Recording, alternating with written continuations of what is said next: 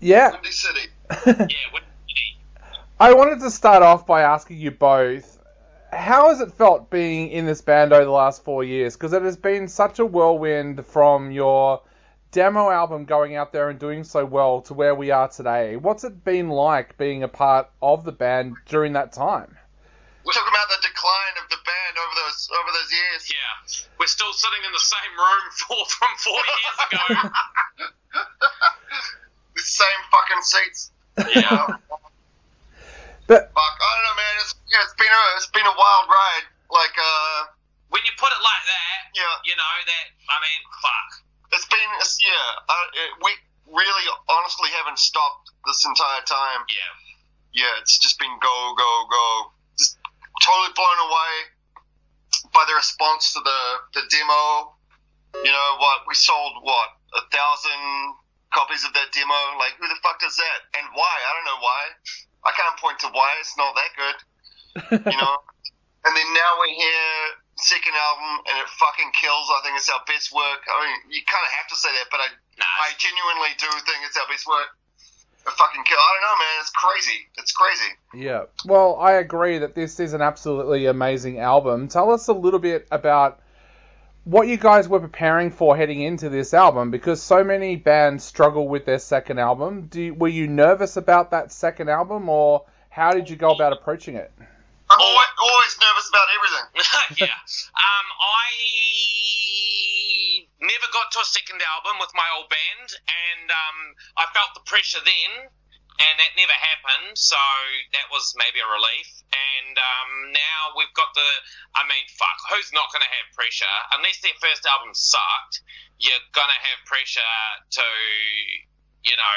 Not on, not only on yourself, but you know, to the people that are going to listen, is it as good or better, or you know, possibly worse? But um, preparing for it, man, like if we had it our way, it would have been out last year. But fuck, man, we forgot how long it takes and how much is involved in an album, especially with all the touring Yeah. to to, to Europe and shit.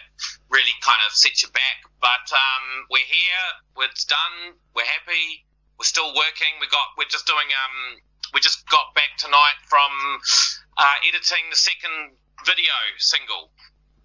Awesome, awesome. Well, we cannot wait to see that. You mentioned about being a band on the go. What's this year been like for you? Because we're still in lockdown here in Melbourne. What's it Yep. been like for you having the lockdown? Was that a chance for you guys to reset the batteries a little bit?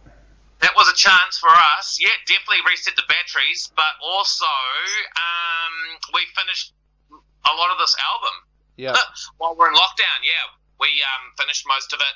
We've got a studio in town close to us, and we were just there, just finishing the shit. Yeah. It was great. Dave, your vocals on this album are just out of this world. I, I mentioned in my review that this album starts off with a scream from you and it just gets better and better. Tell us a little bit about your vocals. How did you discover that you had such unique vocals when you were younger? Uh, I don't Yeah. think you did. no, I didn't. Uh, It wasn't until we um, needed to. When we started the band, we were like, okay, sweet, we got me, my old drummer, who I had waiting for a new band, Nick. Nick, and then when I met Dave, we were like, sweet, we've got these three of us, we can make some songs, and then it was like, what the, what are we going to do for a singer, you know? And I think Dave said, let me let me try, and I heard some demos, and I was like, fuck, man, we don't even need a singer, you know, just learn to play and sing, and that's it. Only three of us. Yeah. You mentioned before that this is your best album. I said in my review that this is the album where it feels like everything comes together uh, for you guys, especially Chris. Your guitar work on tracks like Iron Genocide, I think, is going to put you out there into the stratosphere of great guitarists. Tell us a little bit about how it felt in the studio. Did it feel like everything came together perfectly this time? Uh, I, I think so. Yeah, man. Um, definitely know what we definitely know what we're what we're doing and um, where we where we not where we want to head because we just want to make more cool shit. But you know, it was it was definitely a lot. It felt a lot more together, and we knew, you know, we learned from the first album about what we wanted to achieve even more. I mean, we didn't want to change anything. It was just we just wanted to do it better and, and faster. And And I, I know now, like, how to push Chris outside of his comfort zone. yeah, I definitely definitely had to learn some shit because Dave also. We write. Dave writes a lot of the guitar work too. He's a very talented man, and um, Well, thank you. and between um, between us, you know, we write the songs together. But um, I definitely was put in a different position of learning someone else's uh, techniques and riffs, and um, you know, stuff like Iron Genocide and stuff like that. I had to do that, and um, you know, we can play it all live. Just takes a bit of practice, especially since we haven't played for a while. Yep.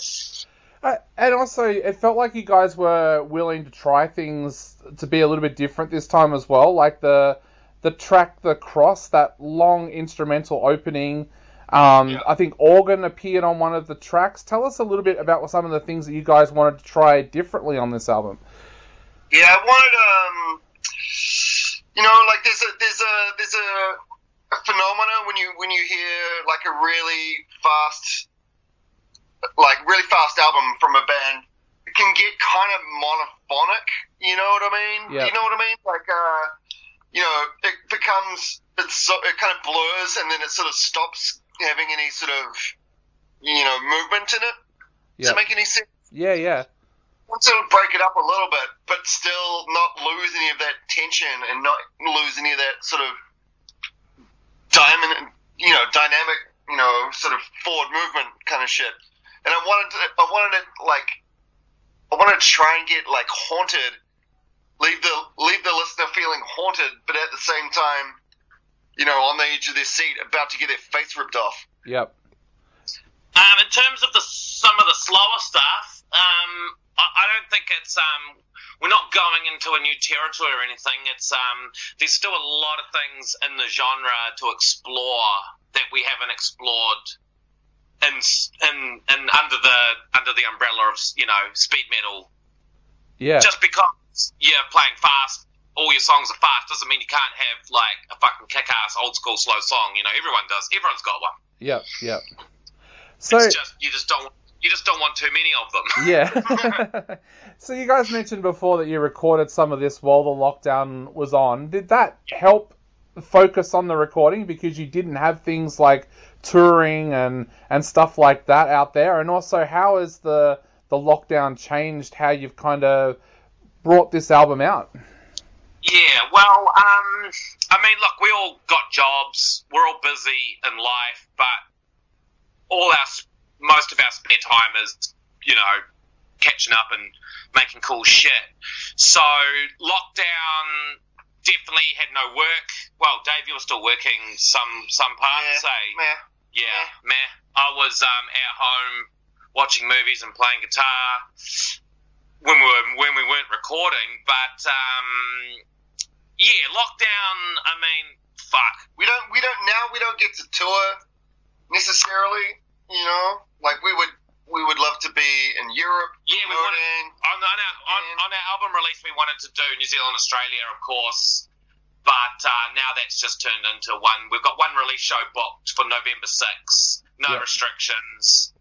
Just, you know, all the good stuff. Um, we came out of lockdown and everything went back to normal for about two, three months, I think. You know, no restrictions on anything. And then second wave came and we just went down to smaller numbers. But, I mean, fuck. I wouldn't be caught dead playing to a show to 20 seated people, you know? Yeah, yeah.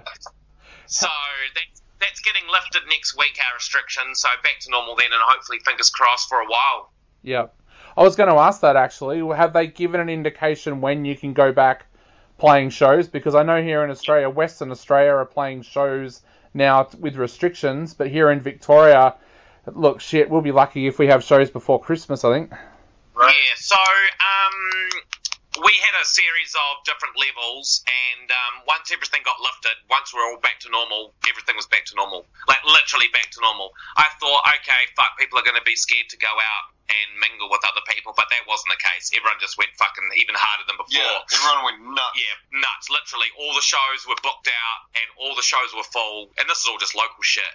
Yeah. Um, hard, hard to book dates and shit, and that was cool. So, um, but uh, yeah, back to normal next week with a bit of luck.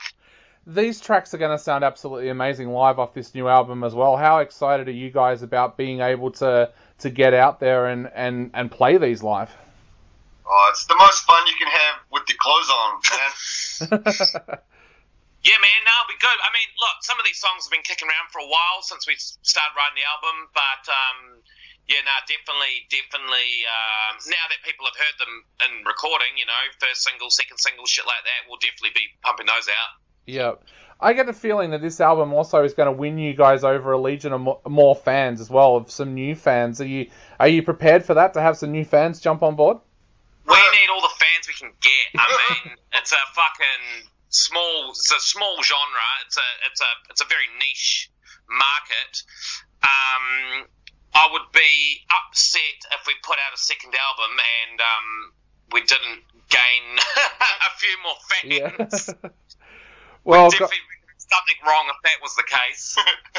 well, guys, I know that there's been a lot of people who have been uh, listening to the singles on our show and have been absolutely loving it. So, is there anything you would like to say to all of our listeners out there before they go out and grab a copy of the album? um, Uh, you gotta say. you got something to say? I want to thank um, every fan out there that's um, that's writing into your show, and um, you're not going to be disappointed with the album. If you like what you've heard so far, which is one song, second song comes out next week, then I guess you'll have a bit more of a um, a bit more of an idea of what you're going to get. But man, fuck. If you like it, you like it. You know, you're gonna, you know what you're gonna get. Exactly. Well, guys, congratulations on such an amazing album, and hopefully we get to see you play here in Melbourne when we uh, finally get out of prison here. As soon as, as soon as possible, we'll be um, we'll be coming over to Melbourne. One hundred percent, fucking love Melbourne. Awesome. Well, guys, you have a great night, and um, we'd love to have you in the studio when you're here in Melbourne. Definitely. Fuck Cheers, yeah. man. Thanks. Thanks Oh. heaps. You have a good night too, man. You too, my guys. See you later. Okay. Bye. See ya.